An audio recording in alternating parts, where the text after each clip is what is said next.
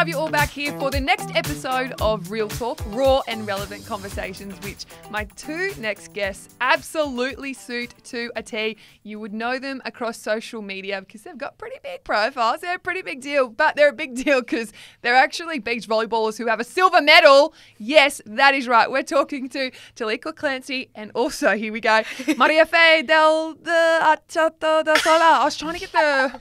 It's actually, if I say it a bit bogan, it's Maria Fe Atacho de Sola. Yeah, that's not bad. Not bad. I'll give you a 60 out of 60%. 60%. 60%. Maria Fe Atacho de Sola. No, Is that better? Good. It's good. It's good. Okay, okay. I've heard worse. We'll be able to go a bit into the background as to uh, why you have a beautiful name. You both have really good names, actually. I'm so basic. Yeah, like Maria actually- Faye and Taliqua. My middle name's Shanice too. I just like Taliqua Shanice Clancy. Yeah, like, it's it, like- like, That it is- just suits me. I can't wait to hear the one word that best describes you both. Let's kick things off with a fast five. okay, all right. Favorite thing about each other? Oh. Yeah, clearly not much. Well, no, I find that I can't bring it down to one. There's lots of things. But one thing, mm, it's fun. Like, we make it fun.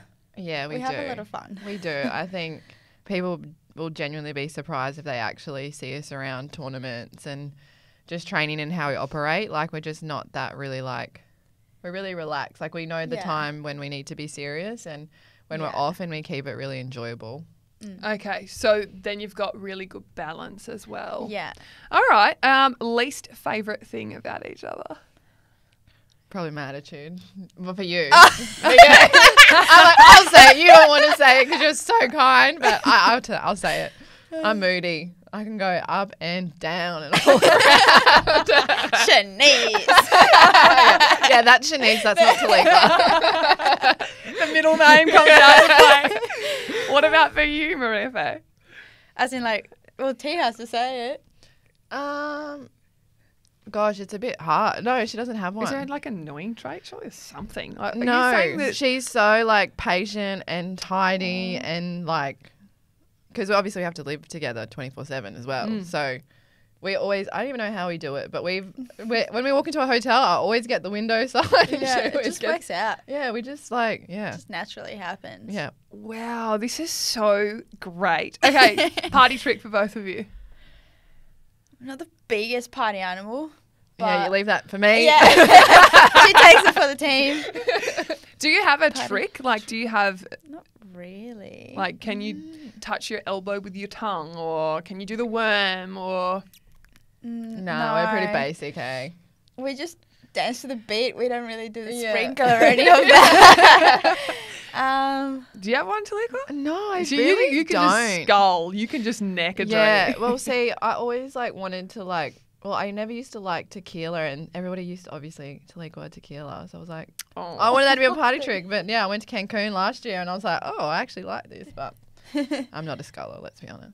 Okay, a sipper. yeah, you don't like I'm shots. an athlete. I don't do those types of things. I don't This is so true. okay, next one. Uh, first kiss for both of you. when? or who? Who and when? Take us back.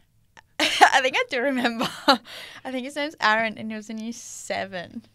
After, no, it was in a, it was in a excursion. We went to the IMAX in Sydney. It's like a cinema with like a, um, 3D, and this, Yeah. and I'm pretty sure it was at that excursion. yes. What about for you? Mine was later. You would know. Do you remember Bobby? Dutchy. Yeah, the Dutch guy. it was a, like my first World Juniors, and yeah, I had my first like little fling thing for a couple of weeks, and then we're in, yeah, we're in Holland, and yeah, it was a bit of a babe, really, like tan with You blue did have a crush on eyes. yeah, yeah, yeah, Yeah. We spoke heaps after too. Oh my god. That's probably why my love life's tragic. I'm seeing something. I'm seeing the pattern now. I still like that boy from his yeah. okay, last but not least, dream job. Ah, I'm, I'm doing, it. it. Yeah. I feel like that's what uh, Harrison is writing our fast five. I think he intended for that. Well Yeah. done. Well done. Um, okay, now we move on to one word that best describes you both. So, Mariafe, I'll start with you. Uh, I think passionate. I'm Mm-hmm. a very passionate person. Okay. That wha- Latina fire comes out. Yeah. yeah. But even I think in like different aspects of life, like I'm a passionate lover. when I love, I love. Yeah. when I care, I care. Um, so I think passionate, I reckon, would be the one. Love Yeah. this. Yes. And what about for you, Taliqua? Yeah, mine definitely does a full circle and comes back. Like I'd definitely say sassy. Mm. Yeah. I don't know. I was just born this way. Came out with the name. I Came- yeah. And, and why? Like, I mean, ex- give us some insight as to your sass. Um, but I think I'm just like I think I'm the same too. I don't really do thing and do things in halves as well. So I think that just comes out with everything that I do. Like I'm just kind of like all in with my emotions if I'm, and that kind of just is how I roll mm. with life. I don't know. It just comes out. You're both so different, yet maybe there's so many similarities. Like you're both living your dream and it's all or nothing for both of you, but in different ways, which is probably why you balance each other out so well. Yeah. We'll talk about the volleyball career, but just quickly, I would like to say that our podcast is partnered proudly with workplacelaw.com.au. Um, the Workplace Law is led by Shane and Athena, the directors there, and they basically help you with any of your problems uh, in the workplace or outside, and they're pretty genuine in helping um, women and men, whoever you may be, whatever gender you align yourself with, uh, in terms of like helping you build a brand outside of your sport. And if you need some representation um, at a tribunal, or if you need some help going through your contract and you just want some sort of idea, like you don't need a player manager to go through that, they are more than welcome, uh, more than willing to help you with that. So, workplacelaw.com.au, Shane and Athena will help you, and they've helped us here at Real Talk, which we love. But now it is time for your story. So, Mariafe, let's talk about how you began playing volleyball, and then we'll talk about you, Taliqua, and how you got into volleyball. I love how you did that Spanish accent then. I mean, I'm. I'm really trying. nah. Um, well, I was born in Peru. I come from Peru. Um, born into a very sporty family. My sister played volleyball, so I guess, you know, that younger sister following her sister's footsteps. I would always go to her games and her training. So I literally started touching the ball, digging the ball when I was three. Wow. So, um, yeah, I I also love playing all sorts of different sports. I was always outside. I couldn't sit still for more than literally five minutes. Always wanted to play. Um, but I guess volleyball was more of a natural sport for me since I was around it so much. Um, so I kept playing all through my primary school in Peru. Um, and then I started playing for a club at a really young age, like seven years old. And then I moved to Australia with my mum when I was 11 Mhm. moved to Sydney. And then my brother was actually the one who introduced me to beach volleyball down at Manly Beach. He I arrived in December, so it was summertime in Australia, and he's like, I, he was in Sydney already, um, and he said, I've read, I've put you down for a site social tournament down at Manly with my friends and I, and yeah, that's literally how I got introduced to beach volleyball, and it was just love at first sight. I loved everything about it. Um, Wow. And that's kind of how I got into beach volleyball. Yeah. Yeah. Oh my God. Next minute, you're a silver medalist at the Olympics representing Australia. Wow. What about for you, Taliqua? Um, yeah, it's still like very similar in a sense, but obviously uh, not three. I started playing. And not from Peru. yeah, definitely not from Peru. King So, of Roy yeah, girl. Yes, the peanuts go us. um, no, yeah. So literally, just such an active child. Like I, I don't know what it was, but I knew I was going to be an athlete. I just, it was just ingrained in me. And then yeah, I was always country kid doing every sport that I c- could do. And my mum was 17 when she had me, so my mum's um, little sister, baby sister, is only a couple years older than me, and she was just graduating high school um, when I was about to go into grade eight, and she said, "Oh, you should play volleyball." And very similar in the sense, you know, as you want to do like what your family does and your aunties, uncles, sisters, everybody.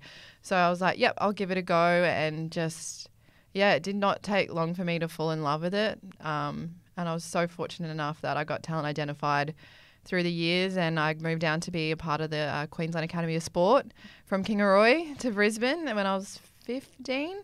And that was the first time I ever played beach volleyball. It was not the same love. I actually hated it. Like Really? I hated it because I went from indoor, you know, like I could move and jump, and then I hopped on the court at Sandstorm, where we're back now. It's so funny that I can literally point at the court and be like, "That's the first time I ever played beach volleyball," and I hated it.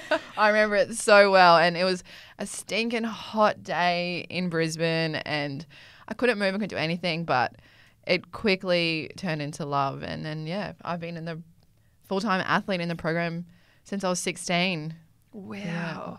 turning 30. yeah, yeah. Well, you're turning 30. You're 28 still, Marika? Yeah, turn 29. Turning 29. Yeah. And then, so can we talk about uh, getting into that cycle of even being chosen and how that even happens that you get paired up? Because you both went to Rio with separate partners, uh, quarterfinals for you. Unfortunately, a game. Okay, cool. You said that for me, but you're still an Olympian. And then you come back and you start a new cycle. And so, how did it? How did the partnership form? Well, our first international event was actually back in 2012 at Junior World Under 21s. Yeah, under Yeah, under 21s um, World Championship in Canada, where we actually got a bronze medal. And I personally knew straight away that we had something very special, very unique. Um, it was just easy, um, and we were both in the same page. Um, and then uh, we got back, and then yeah, I mean, life just took us a separate way. We had different partnerships. Um, Do you pick those? um, not a, not as, not back in the day where we were juniors. We it gets um, sort of paired yeah. up for I you. guess you do have a bit of a say. Yeah, you get a bit of it, but it still has to be very much cleared by the federation. Yeah. But you do get a level, but sometimes Okay, so don't. you had success when you were for juniors, and then it took you what 2012, Yeah. and then it took you a whole yeah. whole another what? When did you join up? Link up? end of 2017 so yeah pretty much 2018 Oh yeah gosh, so much time. i feel like it was just the right time though i feel Yeah. like um, we both had to go through all those years of experience and um, things that we went through um, and i think the right time for us to come together was just it was perfect timing almost um, divine timing Divine. um, yeah, and it was just we just pick it up where we left off. Um, pretty much, we had the opportunity to play together in three events in December 2017, and we won all three events. So that was kind of like, okay, we've we got something here. Yeah. Look, Um, looking at your Wikipedia pages, all I see is gold, gold, gold, gold, gold, gold, gold. gold. it's like, oh, bronze here, and then a silver, and then I'm going, all right, Paris 2024. Like, yeah, you went, you got the bronzes juniors, you get the silver um, at uh, Tokyo, just gone, and maybe we can talk about that before we talk about Paris. But take us through the the pool matches and then preparing for the US in that grand final because it was huge. I still remember what I was doing. You know when they talk about these, you know, 9/11 bombings and and these huge moments in life. I remember I was with my roommate Alexis Mavrantonis at the time watching you two, and we were like, "Go girls!" like, "Oh my god!" It was it was beautiful to remember and now speak with you both. Wow, I don't even know where to start really. um, yeah, it was just you know Tokyo actually was so special. I think people just assumed obviously like not having family and no crowds, but for us it just felt very like at ease and normal. I think the Australian team was just incredible. I think it made everybody closer. So it was a really still a very special, and I probably obviously I still loved my Rio, my first Olympics, but I think Tokyo was there was something extra special about it, not just because of what we, you know, coming home to Olympic medal. but for us, like we always knew, I think from the very beginning of our partnership, we knew that we're going to be in that Olympic final. Like there's just, I could see it as soon Yeah. as like we came together. I could see it. I could feel it. Like it was like, yeah, you know, we're just Yeah. Building for that moment. Yeah. yeah. We just knew. And so, um, and I think it was so incredible, even though we had two very different journeys, it was that experience from our first Olympics. As soon as we, you know, stepped out on the court, eh, we just kept building every game, Yeah. every game. And even though, like, I didn't have a great game against Russia, I'm more than happy to say that was my worst game. And we and we didn't get to top our pool, and we matched with um, the Canadians, who were the world champions and really good friends with us as well. We matched them probably quite early in the quarterfinal, which was a huge match. But we just, I don't know, we just knew. I think that connection was so strong, and it was awesome too because it, it was felt by everyone at home, and Mm. we couldn't see it, but it was awesome when we came home and how everybody was, you know, sharing and talking to us about how special it was. So that Yeah. was in- incredible, but it definitely wasn't an easy journey. COVID definitely Yeah. created a, a few challenges and just life. Like everybody, everybody was so incredible. Like all Mm. athletes who, and for Australian team to actually deliver, like the amount of medals that we did, it was just incredible. But yeah, so much. It's too hard You to really did- go yeah. through play by play. You had it medalled at in beach volleyball for 21 years. Yeah, since So- since Sydney. Yeah. Yeah. So that was another dynamic. Do you think it was extra special too because you could feel sure there was no crowds and we couldn't be there to support you in person, but you knew you were doing it for more than yourselves? Hundred percent. Like we, like T said, we felt the love from back home Mm. through our phones. Like Mm. the amount of messages we received, it was just so special. And because it was actually during that time where I think Brisbane and Sydney were in lockdown, it was like Yeah. two weeks that everyone got so involved and super attached. And it, we really literally felt it. Like it was, everyone was around us physically there, even though there was no one there. yeah. like it was, it was a bizarre feeling, but it was so real. Like it was, yeah, it's it didn't hard really, to like, put into cha- words. Yeah, it is because it didn't like because people like will ask and be like, "Oh, it just must have been so odd not having crowds." Like we were fortunate enough to play a few tournaments, so we kind of already knew what it felt like. But okay. honestly, when we step out there, you're just so in the zone. Like I couldn't hear or see or think about anybody else. So I think if it was a packed stadium, I don't know if I actually would have noticed it so much, to be Yeah. honest. Um, yeah, we did such a great job job in that. But yeah, it was. You did I such still a kind of pinch job. myself a bit. Not gonna lie, like Can it's you still weird. medals? Like pinch yourself and show us all the medals. All my love dents on my. oh. I literally slept with it. Hey, like it was like it carried, like I carried it with me everywhere. And I remember because like obviously like I had a, a few nights where I carried around with me, and I remember you were like, "Oh, just give me any medal because somebody grabbed it," and I was like. Nah, I already got a dent in mine. I know was like which one's pristine and clean. I was like, nah, this one's mine. it, it is. It has like all your little, yeah, little imprints, I guess, that you'd have on there. Very heavy. five hundred and fifty. Nearly a cake. Gosh, you could do some Nearly. yeah, some in, bicep in curls. quarantine. Yeah. Exactly what I did in quarantine. Yeah, especially afterwards, waiting to get out. It, it Oh, was a yeah. whole a whole journey, which is so fascinating to talk to athletes about it, particularly because you've had time to reflect on it as well. Um, Mariafe, I actually spoke to you on SEN, Yeah. like when you're in quarantine, and I got some sort of idea uh, and insight into it, and so did the listeners. But in that grand final, could you feel it almost slipping away? Like, is it so hard when something's out of your control? I don't know what. Um, I wish we could replay it. Hey, um, I wish I, I don't know if UT had this odds, but when you win the semi, right, you're like, hell yeah, I got a medal, right? Yeah. But sometimes going to the final, you want to play it as if it's a bronze medal game, and if you lose, you don't get anything. Yeah. So, I wish maybe I could have treated it as a bronze medal match and be like, okay, I'm gonna go all out because if I don't win, I'm gonna get nothing. Okay. So Yeah. did you go in a bit conservative? I don't know if conservative was the word because we definitely said we got to attack this game because one, we always go one for one against the US Gulf. We play them literally three months, two months before, and we beat them. So we've always got we know each other's game so well. They're going to come hard. April Ross, the defender, the American defender, has won bronze and silver, so she's going for that gold. Um, and you know, same with Alix steps up in these big tournaments. Um, So we knew they were going to come out hard. So we obviously from point number zero, we had to make sure we we were here to compete. Yeah. Um, Which you were. we, I mean, course, you don't get to that stage They- if you're not a competitor. Yeah, to their credit, they played an like error-free game. They played in incredible. Mm. Um, yeah, they yeah they played incredible and probably I don't know. I, I felt like we didn't play to our top game, so if we would have, then it would have been a different story. So yeah, Yeah, it, it's very different too because obviously not all sports are the same, but we have to lose, you know, to get a mm. silver. So that's what is Yeah. so hard, even though it's such a huge achievement and it takes.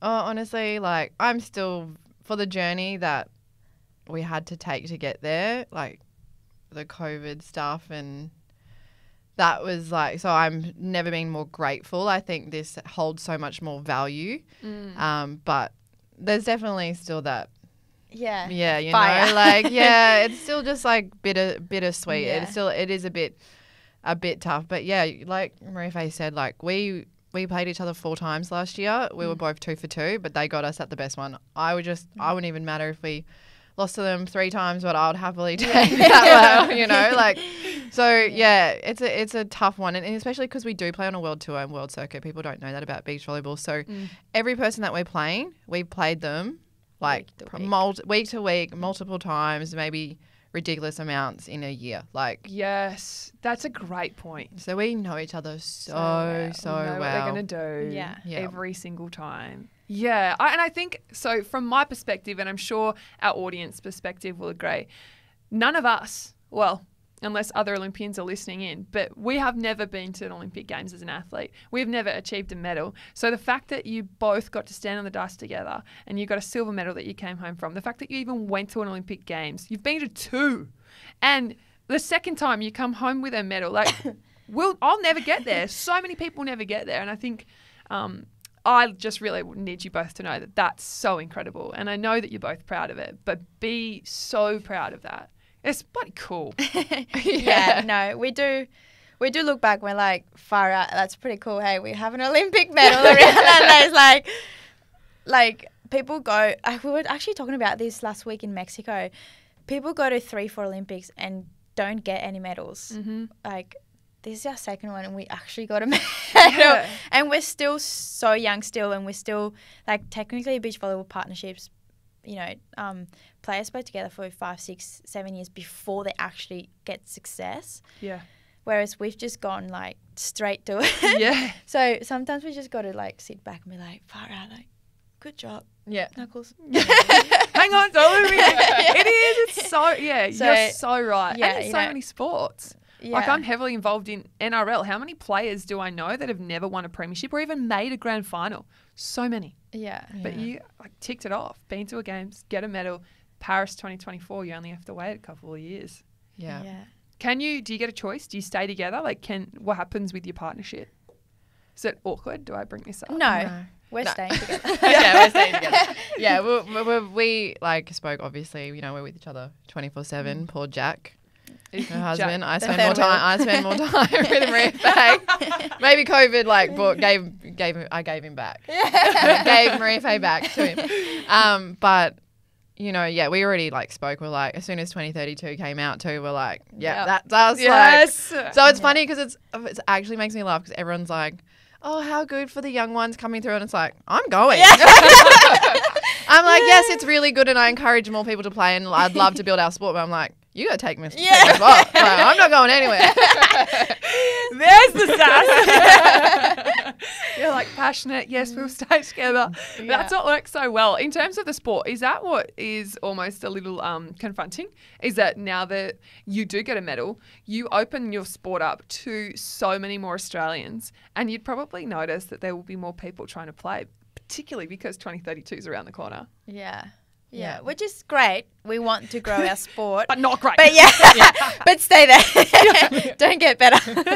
nah, it's really good. Like seeing our sport grow. You know, it's one of the thing, one of the main things we do it right. We want to inspire those kids to start beach volleyball because it's such an exciting sport. Like it fits our culture so well too as a country. Yeah. You know, it's outdoors, it's beachy, it's fun, it's competitive.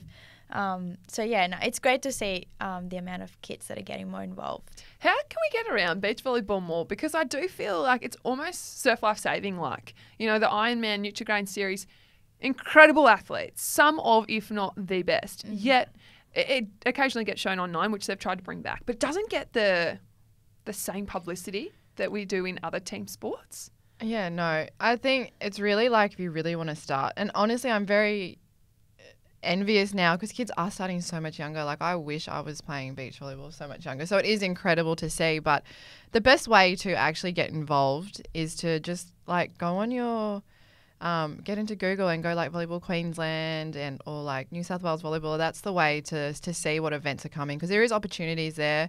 Played in school, like Schools Cup is so much fun, and volleyball is literally like just take your friends. Like it is Yeah. such a fun sport, even if it you know you don't have aspirations to go to the Olympics. That's what's so special about our sport as well. But it is perfect. Like it fits the Aussie lifestyle Yeah. so so well. Um, but so I wish that it would get a bit more attention. But it's awesome now to like show that, like to give a bit more. What's the word? Like Publicity. yeah, publicity Yeah. to it. Like that Exposure. yeah, exposure. Yeah, that's the word. Um, that has yeah been incredible, and especially like. Not to just toot beach volleyball's own horn, but you know, like people like fight. Like we get the best venues for the Olympics. Like it's just like, how is this not translating back to like Australia? Like yeah. Mm. literally 2024, we're going to be in the Eiffel Tower. Yeah. Like beach volleyball, like that's right there. Right there. LA, it's going to be right at the Santa Monica Pier. Like, We do get at the best stadiums. Yeah. Beach Yeah. volleyball, it is the best venue sport at the Olympics. it's literally Yeah. a party on the beach. Like, is. Yeah, how more is. Australian do you want to be? Yeah. Like, you can't get more. Yeah. Aussie. Yeah. as long as maybe they're selling like 4X or VB. so true. Oh, girls, it's been so great to catch up. I really appreciate you both coming on. It's great to get an insight into the great game. Um, and then in terms of like moving forward, just to to wrap it all up, I guess um, hopes and dreams is obviously a gold medal. But what's next before then? Well, we got World Champs and Comm Games this year coming up, Mm-hmm. so big year ahead. We obviously want to turn our bronze medal from World Champs into a gold and our silver from Comm Games into a gold. So we have a few medals to turn into gold. um, but yeah, I mean, Paris is around the corner, so um, yeah, exciting times ahead, really. yeah. Yeah, we just keep goals. growing. Like, Yeah. we just keep growing and evolving. And yeah, you know, going to two Olympics is incredible. So it's kind of like we've hit this new progression as well. I think people don't really know too. I don't know if it was just for myself, but you know, going through Olympic cycles is actually really difficult, and to like refine that motivation and maybe like reinvent yourself actually is pretty tough. Yeah. so you know, like I think for us too, I think it was awesome how we could sit back and still have that fire and motivation when, and we still have so much more we want to want to Mm, achieve. yeah. So And we're all about personal development as well, like T just mentioned, like the growth and all that side of thing. We're huge, so that's that's one of our main things as well. Not just on the court, but as people, um, we love just being better people than we were yesterday. Well, I can see that, and it comes across um, in both of you, especially on your social media too. Like people, you have social media followings because you're lovable people. People want to get to know you, and they can learn off you both. I hope so. yeah, you definitely. I try. oh, thank you so much, Taliqua and Mariafe. I really appreciate it. And for everybody listening, this podcast is brought to you by workplacelaw.com.au. So if you do need representation, you know you can reach out to Shane and Athena and the team at Workplace Law because they are genuine in their help. They've helped us here at Real Talk, and uh, they're about as raw and relevant as it gets. So in terms of being passionate, they are very passionate about players and uh, gaining the skills and confidence to take control of your own careers on and off the field. Love yous and leave yous. Until next time, I hope we are talking about you both when you come back from Paris, maybe beforehand. But I really, really appreciate it. And thanks again. Thank, Thank you. you.